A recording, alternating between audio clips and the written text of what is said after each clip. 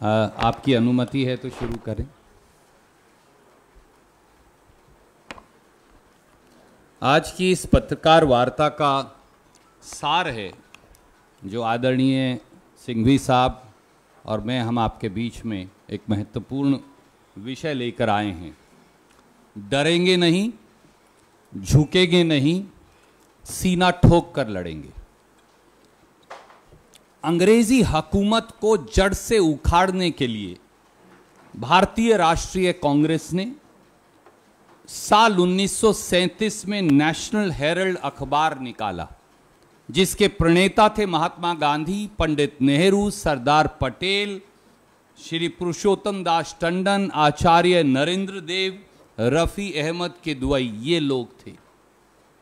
अंग्रेज़ों को इस अखबार से इतना खतरा महसूस हुआ कि उन्होंने 1942 में भारत छोड़ो आंदोलन के दौरान नेशनल हेरल्ड पर बैन लगा दिया, जो 1945 तक चलता रहा। आज़ादी के आंदोलन की आवाज़ बने इस अखबार का मूल मंत्र तब और अब दोनों समय था। आज़ादी खतरे में है, अपनी पूरी ताकत से इसकी रक्षा करें। आज फिर उस समय की अंग्रेज़ी हकूमत का समर्थन करने वाली विचारधारा, आज़ादी के आंदोलन की इस आवाज़ को दबाने का घिनौना षड्यंत्र कर रही है।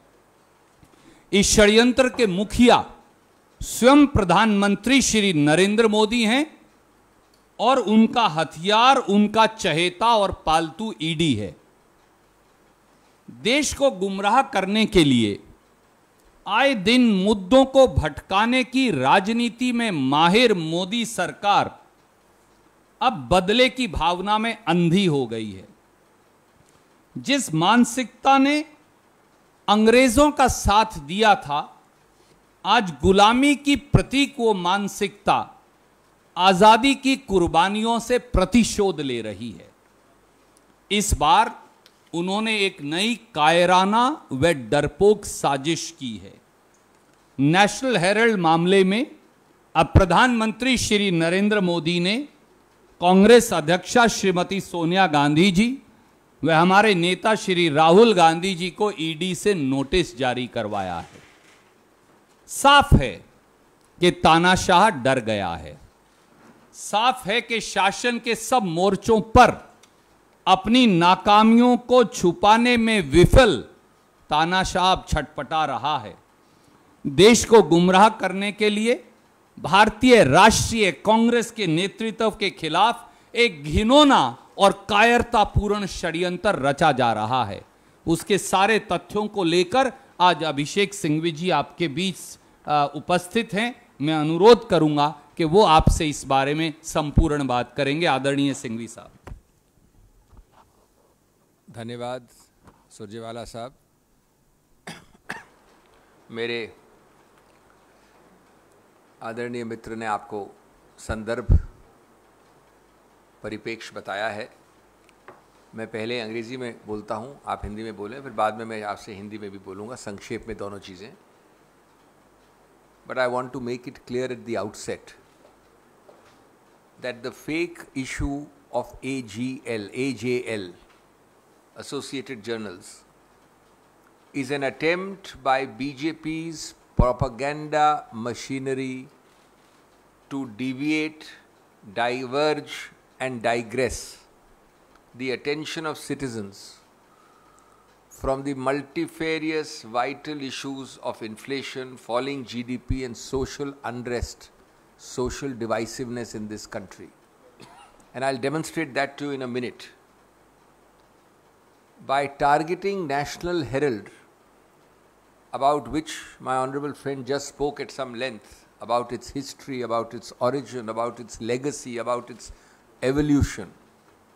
By targeting National Herald every now and then, the BJP has in fact disgraced, disrespected, and dishonored the freedom fighters, the stalwarts of this nation and their contributions to the freedom struggle, where incidentally this particular party or its predecessors had absolutely no role to play.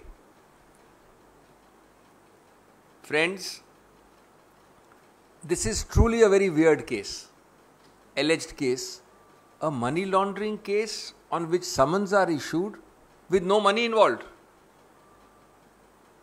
I have yet to hear of this absolute acrobatics in imagination of creating a summons in respect of an allegation of money laundering where no money is involved. Now, I take you back very simply without being legalistic, without being technical on four or five admitted facts. Number one, and you have to see that it reeks, what I am telling you now, reeks of vendetta, of pettiness, of fear, as my friend said, of political cheapness. The CBI allegations in this regard or the investigative process in this regard, let me be more accurate, starts with a well known baiter of the Congress party, Dr. Subramaniam Swamy, and we are taken back to 2014 to 15 period. From 2014 to 15, the ED has not thought it fit till today because they know they have no material to seek summons about the Congress president or about the former Congress president. Today, on the same facts, exactly the same alleged acts and omissions, not a comma full stop change. In 22 June or in 22 end May, you are issued summons to divert attention on the same facts by ED. Now, what is the issue on facts? And why I said there is a strange case of alleged money laundering without money.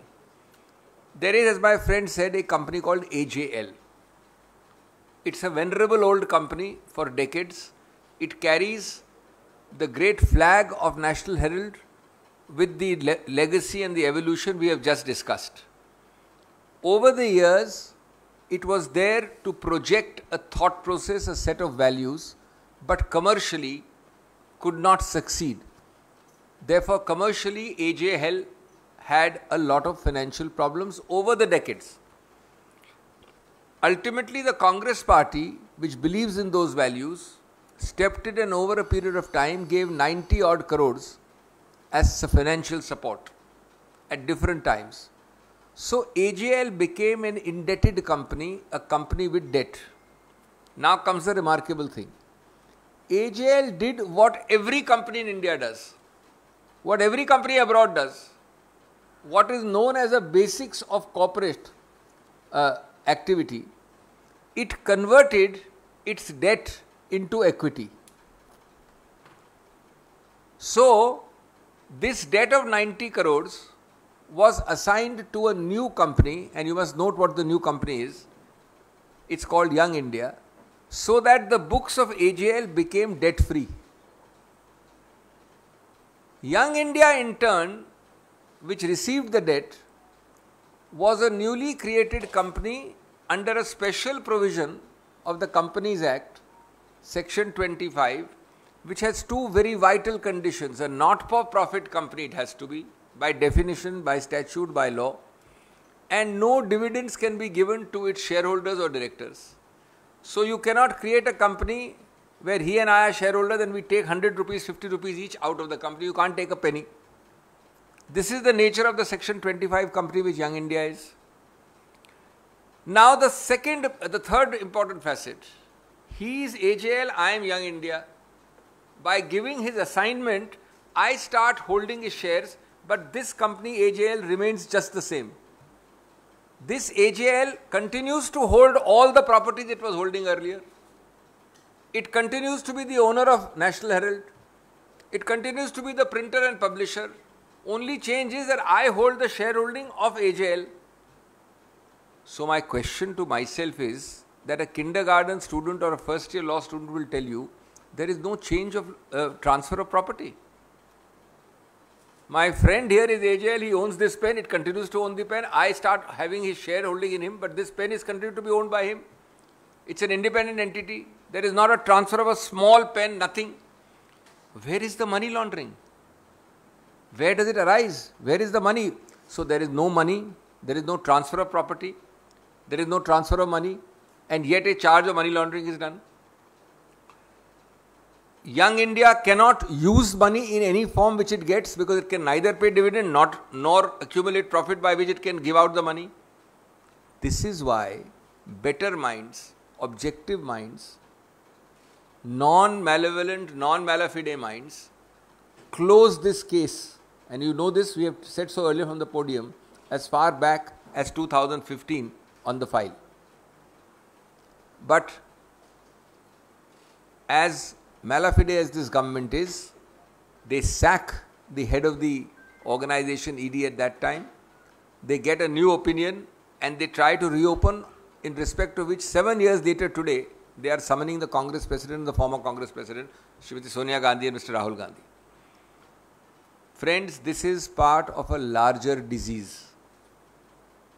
A disease which will consume the ruling party ultimately.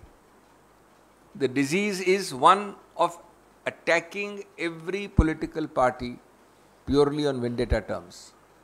From Kashmir to Kanyakumari, from Farooq Abdullah to DMK functionaries, from Gujarat to West Bengal, from Mevani to Mamta Banerjee and the family of Mamta Banerjee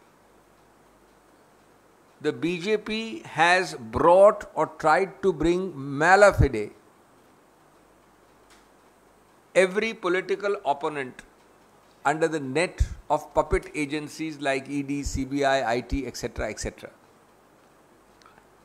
As my friends say, we will face them. We are not in a bit scared or overawed or intimidated by such cheap tactics But this interaction is being held to tell you the hollowness, more hollow than a pack of cards, of the essential allegation on which summons is issued. Nothing exists because nothing can exist, and therefore we want you to see it for what it is. Thank you. इसको मैं संक्षेप में हिंदी में बोल देता हूँ मेरे आदरणीय मित्र ने आपको इसका संदर्भ बताया इसका इतिहास बताया नेशनल हेरल्ड की विरासत बताई और उसकी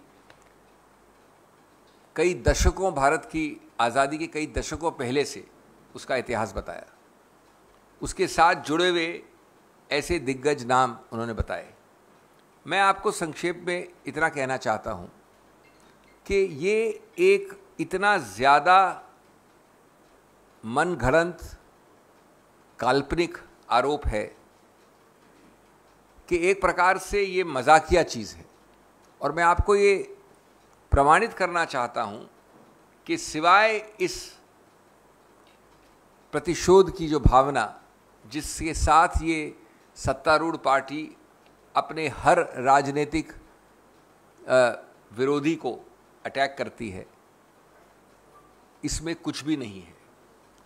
पाँच या छह तथ्य बड़े सरल हैं, उनको आप देख लीजिए और अपने आप निर्णय करिए कि इस प्रकार का समन्स माननीय कांग्रेस अध्यक्ष और पूर्व कांग्रेस अध्यक्ष को दिया जा सकता है 2022 में। नंबर एक, यही चीज़ों के विषय में कानूनी कार्रवाई 2014-15 से चल रही है।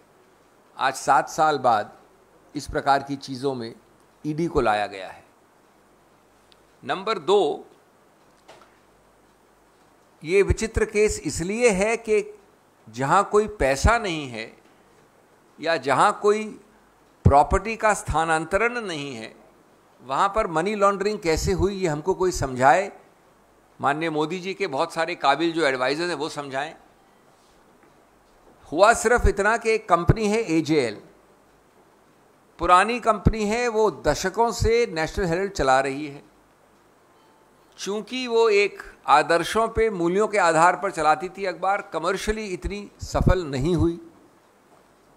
कई दशकों के दौरान लगभग 90 करोड़ रुपए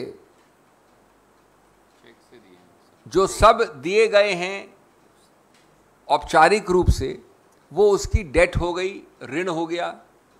उस कंपनी को फाइनेंशियली मज़बूत करने के लिए मज़बूत करने के लिए आदर्शों और मूल्यों जिनके लिए वो खड़ी है, उसको मज़बूत करने के लिए, इस ऋण को हटाने के लिए, उसके किताबों को साफ़ करने के लिए एक बड़ी सरल चीज़ की गई जो इस देश में हर कंपनी करती है, विदेश में हर कंपनी करती है। उसने इस ऋण को इक्विटी में परिवर्तित करने का निर्णय किया। ये इक्विटी में परिवर्तित करने से जो रुपया आया, उसका 67 करोड़ सैंसठ करोड़ तुरंत भुगतान कर्मचारियों के वेजिस के भुगतान के लिए उनको भी दिया गया। सब कुछ औपचारिक रूप से हुआ। अब जब आप कन्वर्ट करते हो ऋण को इक्विटी में तो आपको ये जो ऋण है, उसको असाइन करना पड़ा। एक और कंपनी को वैसे किसी भी कंपनी को असाइन कर सकती थी। लेकिन नई कंपनी जिसको असाइन किया गया, जिसको स्थानांतरण किया गया, जिसको दिया गया, वो कौन थी ये जानना भी आवश्यक है। वो थी यंग इंडिया जो एक विशेष प्रावधान कंपनीज़ एक्ट के अंतर्गत, सेक्शन 25 कहते हैं उसको, वो बनाई गई कंपनी जिसमें दो बड़े महत्वपूर्ण प्रतिबंध हैं। आम कंपनी की तरह नहीं, सेक्शन 25 कंपनी न तो कोई डिविडेंड दे सकती है, न प्रॉफिट, जिस प्रकार से कमर्शियली प्रॉफिट समझा जाता है, उसका इस्तेमाल कर सकती है। यानी अगर दस हज़ार करोड़ भी वो कमा ले तो एक पैसा भी ऋण के डिविडेंड के रूप में बाहर नहीं निकल सकता। इस कंपनी में वो 90 करोड़ या जो भी डेट था ट्रांसफ़र हुआ। दूसरी बात, जब ये कन्वर्ट होती है ऋण इक्विटी में तो यंग इंडिया वैसी ही रहती है, सिर्फ़ वो शेयर होल्डिंग शेयर होल्डर बन जाती है एजेएल में। और एजेएल के पास जितनी भी संपत्ति है, अचल या मूवेबल वो सब एजेएल के पास ही रहती है। तो दूसरा बिंदु के एक पैसे का, एक अचल संपत्ति का, एक बिल्डिंग का, एक फ्लैट का, एक किसी चीज़ का स्थानांतरण, ट्रांसफ़र कहीं नहीं हुआ, किसी को नहीं हुआ, कभी नहीं हुआ। तीसरी बात, जो कुछ भी रुपया आया यंग इंडिया में कभी भी, ये किसी का आरोप भी नहीं है कि उसको बाहर दिया गया, डिविडेंड दिया गया, जो दे नहीं सकते सेक्शन 25 में। चौथा, कि जब वही सब चीज़ वैसी हैं तो मनी लॉन्ड्रिंग कहाँ से आती है? अनुच्छेद 50 जो मनी लॉन्ड्रिंग एक्ट के अंतर्गत है, उसके अंदर समझ आप कैसे इशू करते हैं? जो तर्क मैंने अभी आपको बताया, और वो चौथा बिंदु है मेरा, उसके अंतर्गत 2015 में ये केस बंद हो गया था। याद रखिए 2014 के पहले का केस है ये। ईडी की तरफ़ से ये केस बंद हो गया। हमारे सत्तारूढ़ सरकार के लोगों को अच्छा नहीं लगा, उन्होंने ईडी में लोगों को बदला, हटाया निरस्त किया अपने पदों से और नया केस खुलवाया, प्रेशर डाल के। और उसके बाद अब सात साल बाद ये समझ दे रहे हैं। जैसा मैंने कहा, कभी उनको यहाँ से मोड़ना है, ध्यान आपका ध्यान आकर्षित करना है, कभी इन्फ्लेशन से, कभी जो अभी जीडीपी फिगर्स हो रहे हैं, उनसे जो विभाजन की भावना चल रही है इस देश में, जो असमंजस की और जो सामाजिक उथल पुथल चल रहा है, उससे हटाने के लिए। तो दोस्तों, मैं अपनी बात अंत करना चाहूँगा ये कह के कि इस देश में इस प्रकार से अपने पपिट जैसा मेरे दोस्त ने कहा। कभी ईडी कभी सीबीआई कभी आईटी का दुरुपयोग करके हर राजनीतिक विरोधी को कश्मीर से कन्याकुमारी और गुजरात से पश्चिम बंगाल तक डराना, धमकाना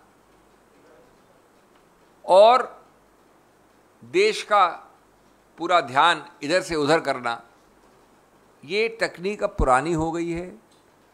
जैसा हमने कहा, हम न डरेंगे, न झुकेंगे और सीना ठोक कर ऐसे कारनामों का सामना करेंगे। लेकिन आप एक बात समझ दीजिए कि कोई भी जो अक्षर ए बी सी भी जानता हो कॉमन सेंस का या कानून का वो ये नहीं कह सकता कि इसमें कोई मनी लॉन्ड्रिंग का केस शुरू भी होता है बनस्पत इसके कि उसकी कार्रवाई आगे जा सके। Thank you sir any question will take one by one will start with you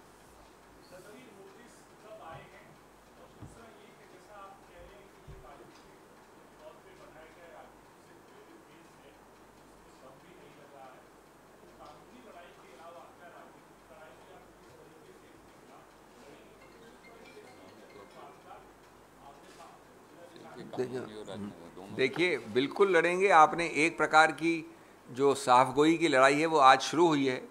ये भी राजनीति का एक हिस्सा है कानून का भी हिस्सा है। आपको स्पष्टीकरण देना ये कार्रवाई चलती रहेगी।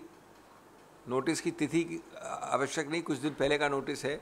लेकिन जैसा हमने कहा कि पूरी तरह से हम उसकी तामील करेंगे हमें कुछ छुपाना नहीं है और पुरजोर तरीके से बिना डरे बिना हटे बिना हेजिटेशन के हम इसका सामना करेंगे और इसके बारे में आपको आज सब तथ्य बताए हैं वो भी उसी लड़ाई का एक एक प्रक्रिया है कड़ी है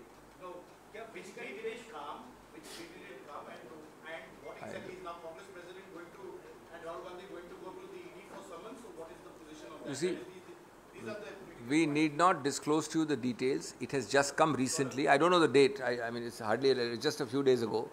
But you can rest assured that whoever is present in the country, and certainly the Congress president is here, will go.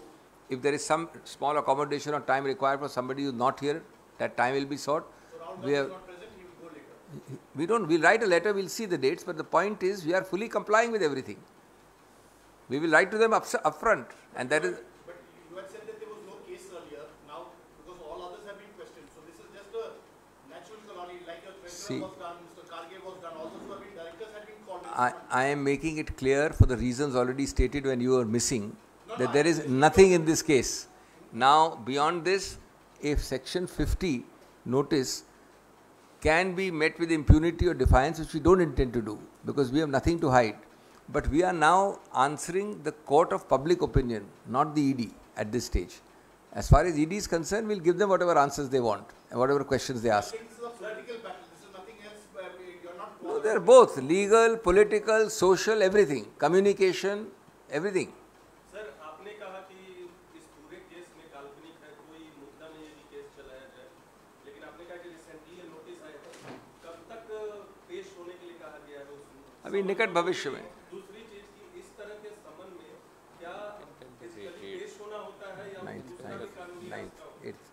क्या इस तरह के देखिए ऐसा है ऐसा है इन तथ्यों का कोई खास मायने नहीं, लेकिन आप पूछ रहे हैं तो अभी वाला जो नोटिस है माननीय कांग्रेस अध्यक्ष का, वो आठ तारीख को उनको बुलाता है। एक पॉइंट दूसरा, इसमें जो भी उत्तर होते हैं, तथ्य होते हैं, जो कानूनी जवाब होते हैं, वो सब उनको दिए जाएँगे। कानून की एक प्रक्रिया है, उसको देखा जाएगा। लेकिन हमारा आज का उद्देश्य वो है, जो हमने आपको बताया है। आठ जून आठ जून। बिल्कुल जाएँगे। बिल्कुल सौ प्रतिशत जाएँगे। आठ जून आठ आठ। मैंने कहा कि माननीय कांग्रेस अध्यक्ष जाएँगी। अगर राहुल जी यहाँ हुए तो जाएँगे नहीं तो थोड़ा सा समय मांग सकते हैं वो हमको पता नहीं डिटेल्स अभी। थैंक यू गाइस धन्यवाद। Thank you the Thank you. ध्यान नहीं हुए नोटिस लिखा है इसमें क्या बड़ी।